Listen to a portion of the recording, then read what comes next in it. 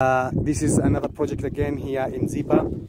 This is another uh, primary school. It's a primary school here in Ziba. Uh, they call it Gumila. Uh, here how we dig this.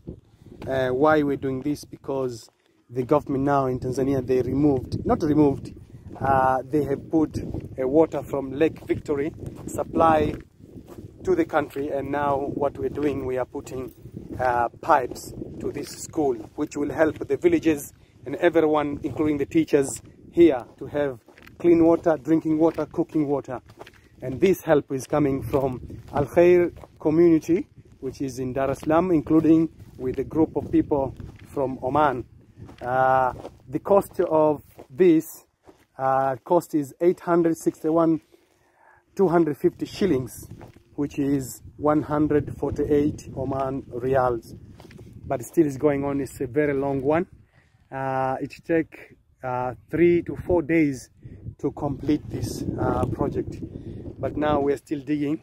Maybe tomorrow it will be finished. We thanks for this community and the people from Oman for the support. Thank you.